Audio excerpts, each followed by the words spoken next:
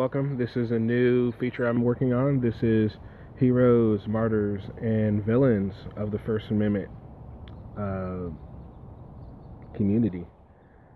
So today we're going to start with this gentleman here. His name is John Peter Zenger. He was a hero uh, to anybody that fights for the Constitution, the First Amendment, and justice. All right, so this gentleman here, John Peter Zenger, was born in 1697 in Germany. His father is unknown.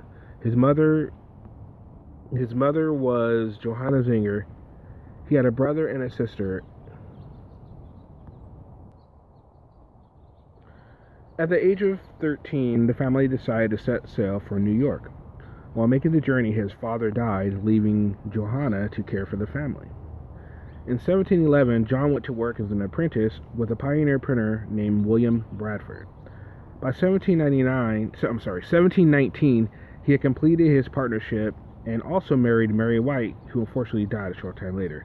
The next year, John relocated to Chestertown, Maryland, where he began working for the Maryland Assembly writing the session laws for the official meetings. After two years of this, he moved back to New York in 1722 he also remarried to an Anna Catherine Mullen, and the following year he became a freeman. By 1726, John was able to start his own business.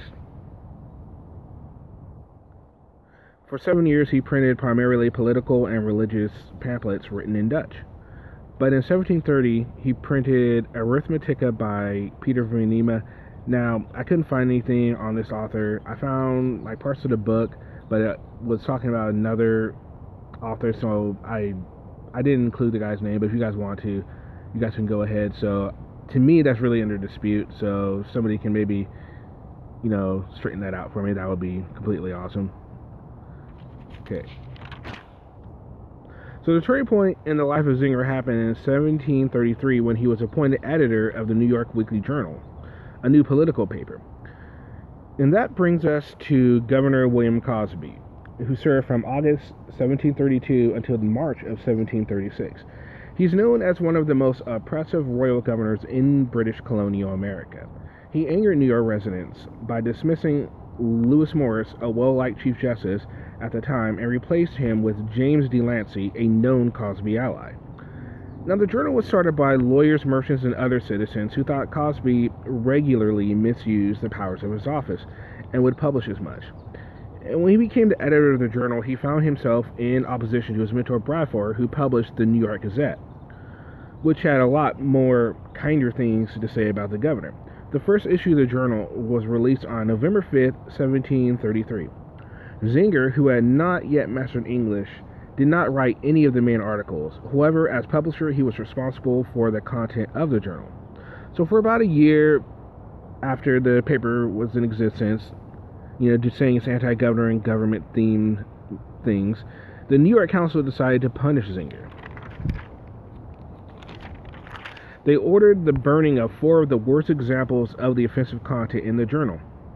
The court officials even went as far as to refuse to carry out the order, so the sheriff had his African slave do the deed. They arrested Zenger, charging him with sedation, seditious libel. They arrested Zenger a few days later and set a bail of 400 pounds with an additional 200 pounds for insurance. Zenger, who cannot pay the bail, was sent to prison.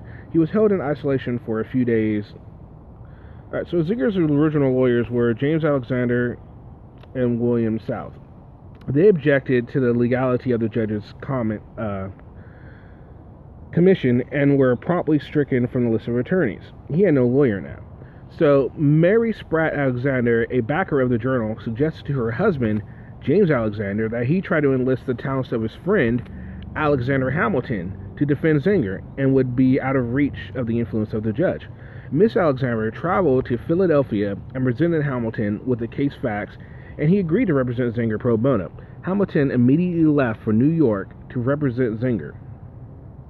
During opening arguments, Hamilton argued that jurors were capable of deciding if his client had printed truths or falsehood whose guidance from the judge without guidance from the judge. Naturally, Delancey did not agree and denied the request, saying a judge has more, was more qualified to interpret the law.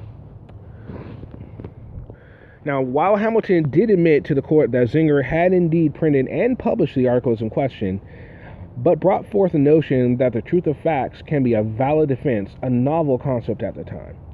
He presented evidence that proved the truth of Zenger's articles, but the judge again rejected the evidence. This, of course, did not stop Hamilton. He appealed to the jury to look at the evidence in their everyday lives to see the truth of what was said.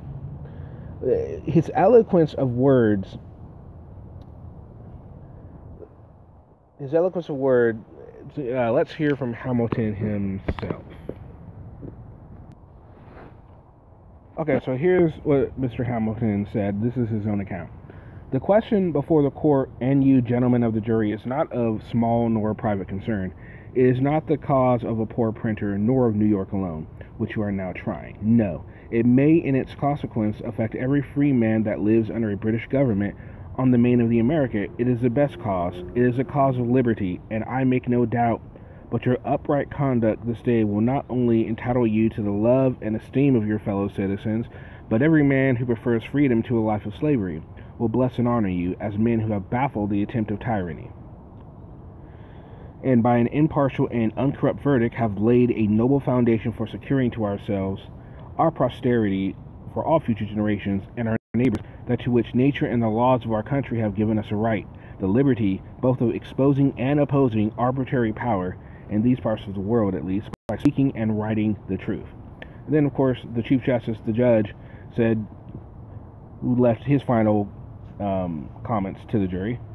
Gentlemen of the jury, the great pains Mr. Hamilton has taken to show how little regard juries are to pay to the opinion of the judges, and is insisting so much upon the conduct of some judges in trials of this kind is done no doubt with a design that you should take but very little notice of what I may say upon this occasion.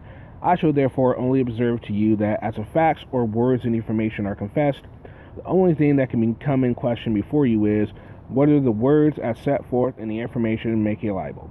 And that is a matter of law, no doubt, and which you may leave to the court. And then Zenger's account of what happened with after the jury is. So the jury withdrew and in a small time returned and being asked by the clerk whether they were agreed of their verdict and whether John Peter Zinger was guilty of printing and publishing libels in the information mentioned, they answered by Thomas Blunt, uh, Bunt, their foreman, not guilty. Upon which there were three huzzas, huzzah! You know, those were shouts of acclaim in the hall, which was crowded with people. And the next day, I was discharged from my imprisonment. Now that's just one of those things that makes you feel good that you know the court can work. It doesn't always work, but it can, and it's evidence here that you know Hamilton was able to just really, you know, get the truth out there. And you know the fact that we take advantage that you know the truth is a defense. Back in the day, it wasn't. That is baffling to me. I had no idea before reading about this that that was the case. That is baffling to me. It's like, you know, how much power they had. And, you know, it just really reaffirms the fact that they will try to take advantage of, you know, any opportunity they can. So it is very important to fight for First Amendment rights. I will never say that there shouldn't be First Amendment auditors. There shouldn't be people that do this sort of thing. I, my only argument is there's a way to do it and there's a way not to do it. We have to encourage dialogue. You know, this was eh, take it to the higher courts. You know, do what you have to do. Calling officers shitheads and you know all that stuff isn't going to do anything. It might make you feel good. It might get a couple of laughs on the internet. Excuse me. But you know, in the long run, it's not really going to accomplish a whole lot of much. Um, so I just leave you with that. And uh, if you have any comments, or if you know if you want to uh, talk about maybe some of you guys have you know, dealt with some First Amendment issues yourself, go ahead and you can talk about in the comments. Or maybe if you want to talk about somebody else who you know of, because I mean, there's a lot that I don't know about, you know, the history of, you know, people who fight for the First Amendment, and I'm, you know, I'm learning, and I would like to learn some more. So if anyone has anybody that they would like to uh, bring up, let me know. You know, I'll do some research. I'll look it up. Maybe I'll make a video. Maybe I won't. Um, but that's what we do. So this is all about heroes, martyrs, and villains. I think next time I'll do a martyr. Uh, then I'll do a villain, and we'll just keep going like that. I think. So uh, I just hope you guys have a great weekend, and uh, let's let's just make sure we keep not only the account uh, the auditors accountable, but let's keep our public officials accountable as well because they are not above the law, and they definitely need to be put in their place when they need to be put in their place. So I hope everyone, like I said, has a great day and uh, hope you enjoyed the video. Please like, share, subscribe, and uh, see you next time.